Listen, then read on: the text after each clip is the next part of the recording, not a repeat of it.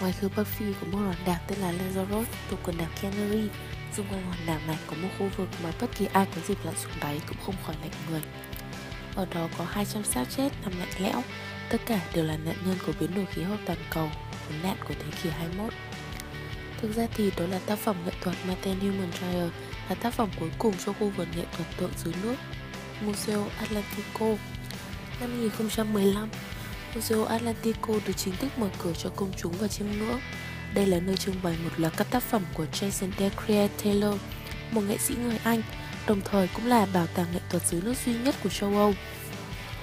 Ý tưởng chủ đạo của những bức tượng chính là vấn đề bảo tồn và hệ sinh thái đối với sinh vật biển. Trước đó, Taylor đã thực hiện hai cuộc triển lãm tại đảo Grenada của Caribe và Cancun của Mexico. Human Trial là tác phẩm cuối cùng của Taylor, đánh dấu sự nỗ lực không ngừng của hơn 300 cá nhân. Toàn bộ tác phẩm đều được làm từ xi măng trung tính, với khả năng đứng vững trước sự tàn phá của thiên nhiên tới hàng trăm năm.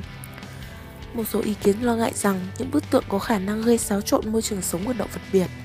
Nhưng không, thực tế lại cho thấy rất nhiều sinh vật sống đang lấy những bức tượng này làm mái nhà mới, thay cho các dạng san hô bị phá hủy bởi con người và thậm chí còn phát triển thịnh vượng hơn trước.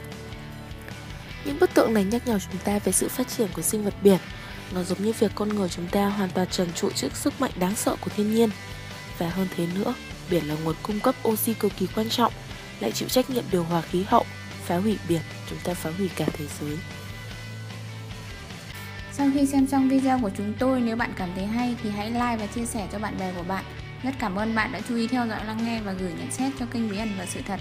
Hãy nhanh tay đăng ký kênh miễn phí để nhận được nhiều video mới và hấp dẫn từ chúng tôi.